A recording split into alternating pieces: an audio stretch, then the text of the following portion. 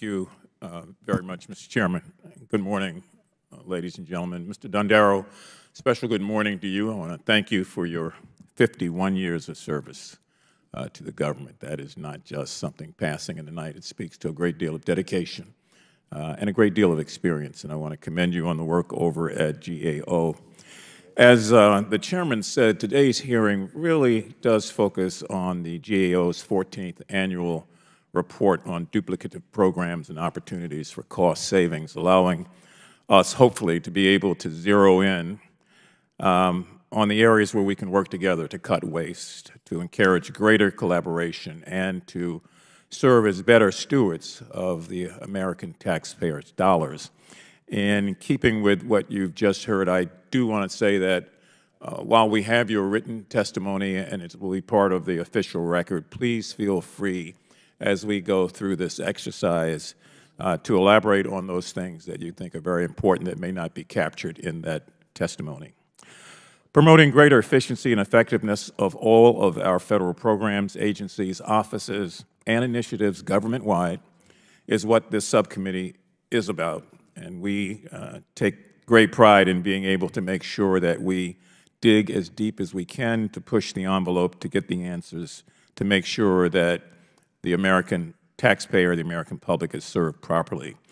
Since the report's genesis in uh, 2011, Congress and the agencies have fully or partially addressed almost 73 percent of all of the matters and recommendations. And as Mr. Sessions just said, in that process, there was identification of $667 billion in financial benefits. That's no small number, and it is a, a great achievement.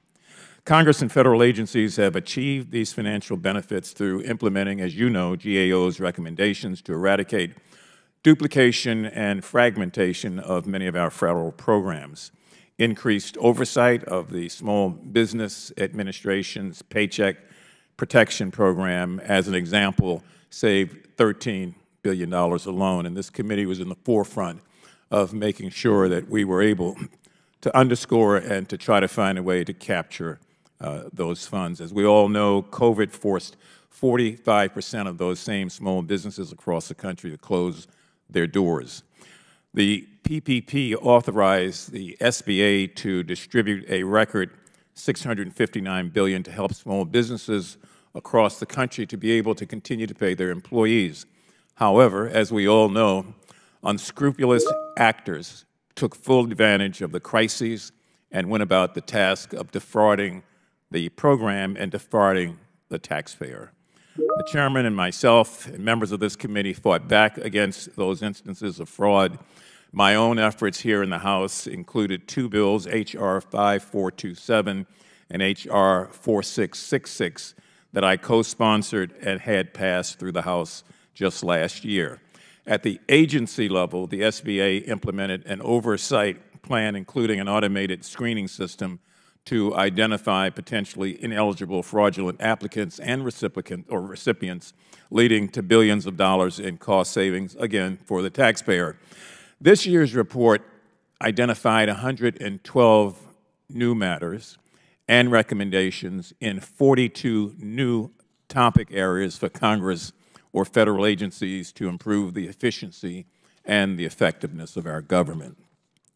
These recommendations span across departments and branches of the government, calling on both the Congress and agencies to rise to the occasion, to take additional action towards ensuring that the government works better for all people and to do so as quickly as possible.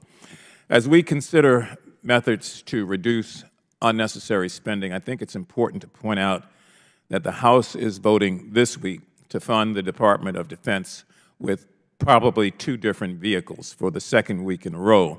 And I mention that because over the past 14 years, GAO has identified $197 billion in ways to cut costs at DOD. Notably, DOD still has the highest number of open duplication cases and the highest number of cost-saving recommendations that have not been fully implemented.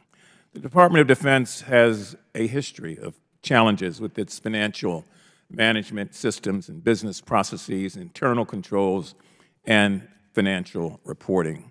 And to that extent, sir, the GAO noted that DOD in particular should, quote, improve oversight of its financial management systems, allowing for more informed investment decisions which could result in cost savings and a clean audit opinion.